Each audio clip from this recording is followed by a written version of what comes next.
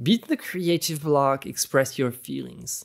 Feeling doubt as an artist is normal. You'd be surprised how many professional artists feel discouraged and doubt themselves.